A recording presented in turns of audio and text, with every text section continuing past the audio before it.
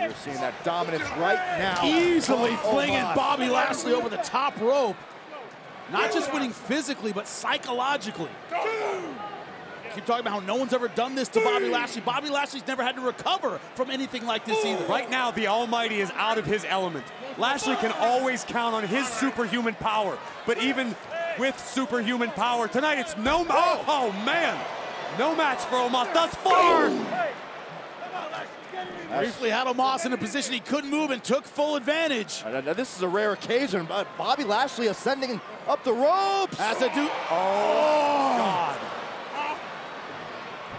Picked out of midair by Omos. This could be the end of the Almighty. Oh, down goes Bobby Lashley. Nine foot drop. Lashley not getting up.